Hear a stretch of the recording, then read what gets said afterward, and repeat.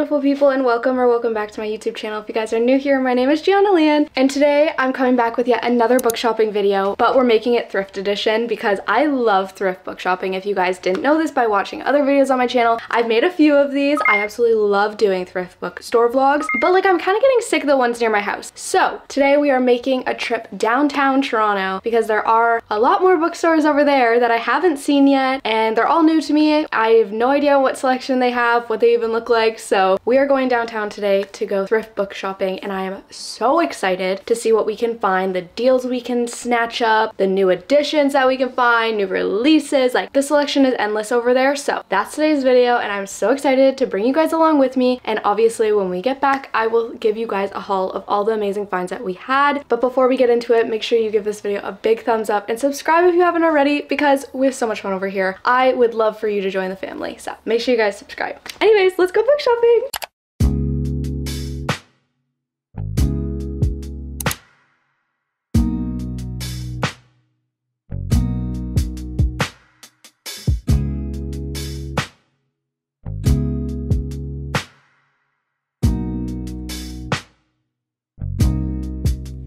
Guys, that was a big fail. First one was a fail. We are walking to the next stop.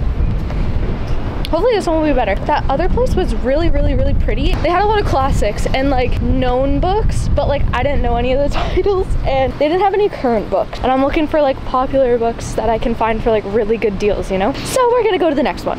It's like as they roll down the window,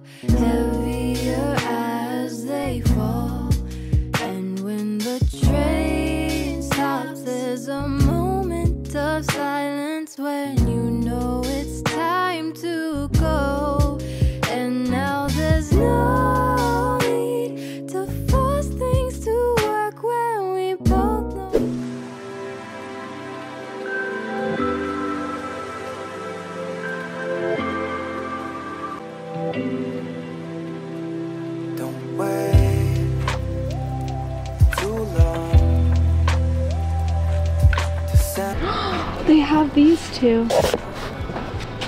don't have the first one though.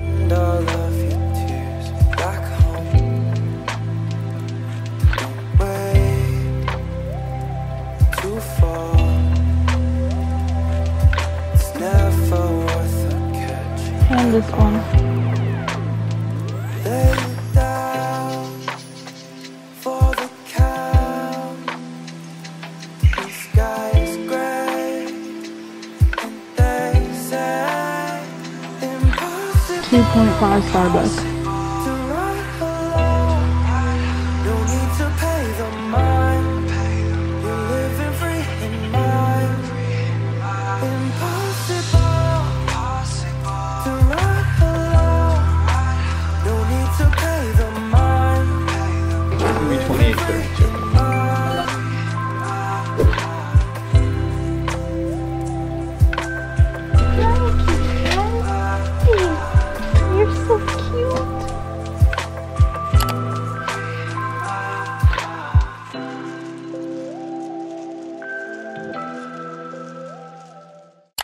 It is haul time. Yay!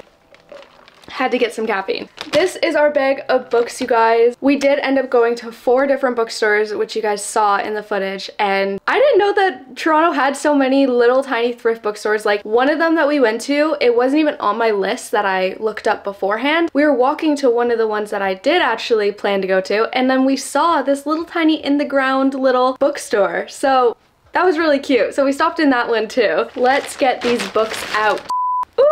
We ended up getting four books today. I honestly was gonna get more, but I wasn't super successful in most of the bookstores when we went because I feel like, like I said, a lot of them were more classic books and special editions and just more older books. And what I had in mind was new releases and popular books for cheaper prices. A few of the bookstores we did not have much luck, but we did find some books overall. I'll put the total of what I spent on the screen because I don't remember right now, but I'll put the total here For four books, I ended up getting them for this much. That's insane. Like, I saved so much money. But let's just get into the haul, right? That's that's what we're here for. So BMV Books, that's my favorite thrift bookstore. I've been to it a few times and not this location though. This location was massive and gorgeous. I knew I was gonna buy books here, but I did end up picking up three. So majority of our books was from this one. The first one is my best find. I'm just gonna show it to you guys right away. I'm not gonna make you guys wait. It's The Honey Don't List by Christina Lauren. Look at how gorgeous this cover is.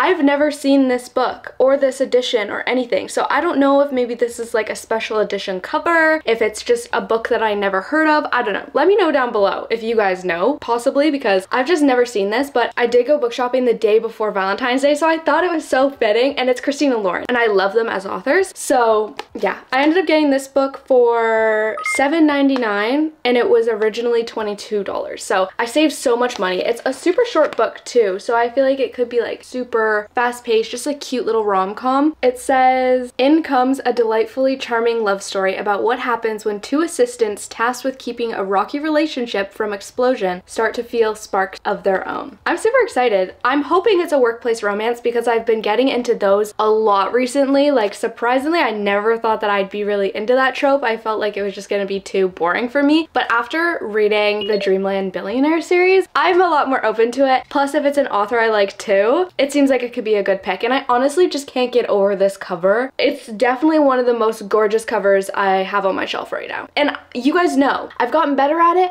but I do pick books based on their covers sometimes and in saying that, this is the most gorgeous one.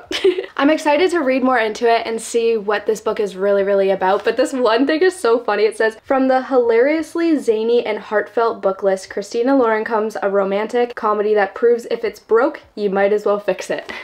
I just love them so much. So this was the first book we picked up and the one I was most excited for. We also got Lucky by Marissa Stapley. Stapley. I also really, really, really was drawn into this cover. I had this on my Goodreads want to read thing ever since it released, I'm pretty sure. So I'd had my eye on this book forever. I just, it always slipped my mind. So I ended up getting this book for $9.99 and it was originally $22. Another crazy, crazy steal and it's in perfect condition. There's no flaws in this book and it's super, super short because I don't know why, but there was a lot of these copies at this bookstore because there was the big paperback, which is the one that I got and why it's so thin, but then there was a smaller paperback that was like the same size as this and it obviously was a little bit thicker. I ended up getting the bigger size, but this one drew me in because it's kind of all revolved around scamming and like con artists and stuff like that. And I feel like that could be such a fun plot, especially she's a scam artist with her boyfriend and they perform a massive heist. And that's all I know so far, like from just just reading the blurb on the back at the store. Yeah, so she pulled off an a million dollar heist with her boyfriend and she's ready to start a brand new life with a new identity when things go sideways.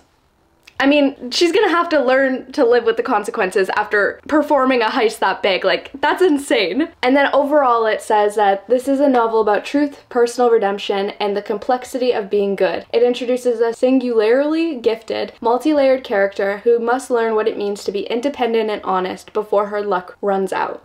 I don't know, I feel like it could be cute in the end. It's obviously gonna be like pretty action packed. I mean, I'm hoping things definitely go sideways like it's described, you know. I don't know, I just love the colors of this cover, so. Oh, it's a Reese's book club too. Hmm, interesting. This will definitely be fun. And Taylor Jenkins Reid put a quote. She said, the most fun I've had reading a novel in a long time. If Taylor Jenkins Reid has something nice to say, I know I'm gonna enjoy this book. Come on, let's be honest. And the last book I picked up from BMV Books was Have You Seen Her by Catherine McKenzie. Another book that I've had on my Goodreads forever, like ever since it released, and I just never picked it up. But I got this book for $8.99 and it was originally $23. Like, I can't make these deals up, you guys. Like, I have saved so much money with brand new books and there's no flaws to them. Like, I've saved so much money with these being so cheap at thrift bookstores instead of going to Indigo or Chapters to go buy a brand new original price. I don't know. I'm just trying to convince you guys that this is your sign to try thrift book shopping if you haven't done it before because I'm telling you, showing you that you can save so much money and you can find really, really good books. But once again, like I did not know too much about this book. I kind of just picked it up because I saw it there, it was on sale, and I had it on my Goodreads, so I just kind of knew it was a one to grab. Huh, interesting. So basically it seems like it's about a woman running away from her hometown because she wants to start a new life. She's obviously a refuge in this new town, trying to find her way, trying to build herself up a new image. And then it says that Cassie quickly falls into old patterns, joining a group of fellow seasonal workers and young adventurers. She meets Petal, a young woman living in a trailer with her much older girlfriend, keeping a detailed diary of the goings ons of the park, and Jada, a recent college graduate, on a cross country road trip with her boyfriend, documenting their journey on Instagram. When these three women cross paths, Cassie's past catches up with her, and the shocking consequences ripple out far beyond what anyone could have imagined.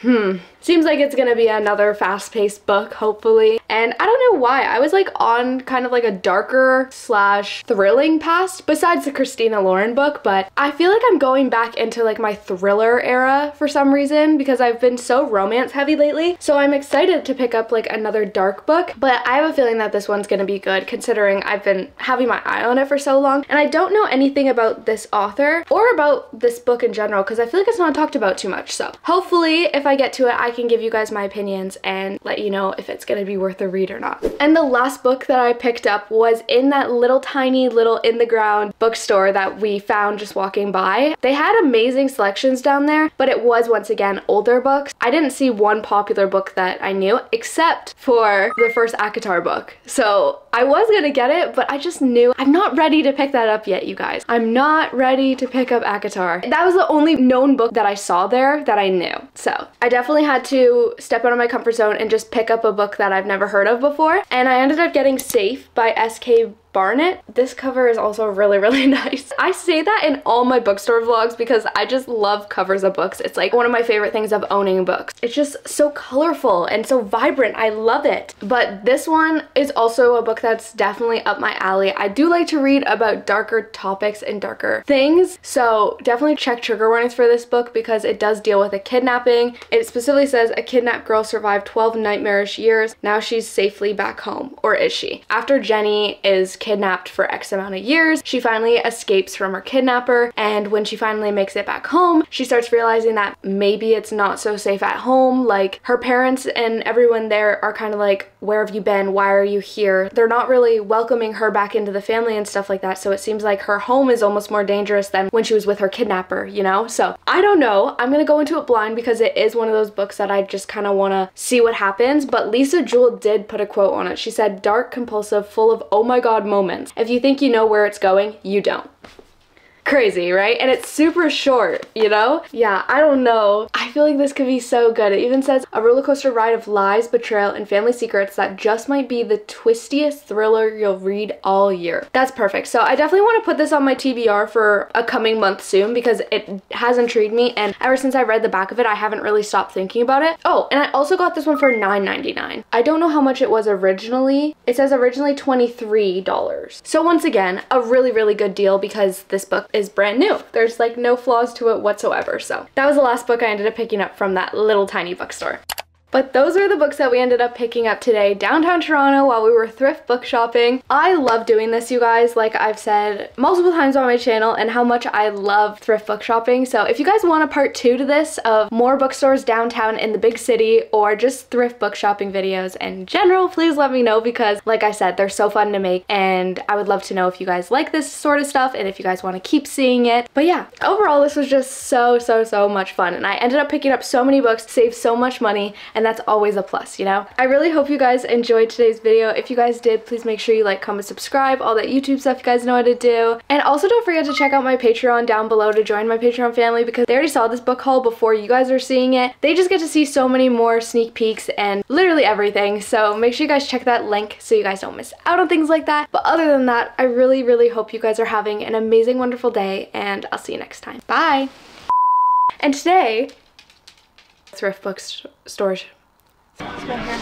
Bessie? Oh, I was looking for this. I wasn't so do do do do do do do